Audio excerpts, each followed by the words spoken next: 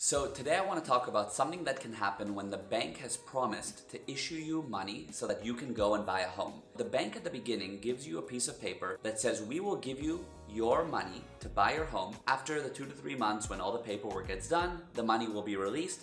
But for now, we're going to give you a promise that we will pay you. However, there's a bit of fine print there.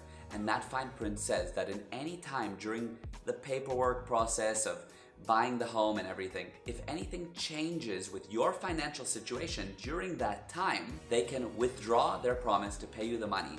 So at the end of all of it, they can say, well, actually, you don't have money from us. So why would they do that? Well, first of all, when a bank issues you the money or promises to issue you the money, they first do a check on you to see what your financial situation is. So they check, do you have car payments? Do you have another payment on another home maybe? Do you owe money to people, etc. They look at what is your financial situation and based on that they decide it looks like you'll be able to pay us back, so we will give you the money in two to three months once the paperwork is done. However, if during that two to three month period you now get excited because the bank has said they're gonna give you a million rand for your new home, and you go and spend more money. You go and buy another car, you go and buy some fancy jewelry, and then what can happen is the bank can go see that and realize, whoa, your financial situation is different now. You have another car and you have jewelry that you're paying off, we're actually retracting, taking away our offer to pay you that money so you can buy the home.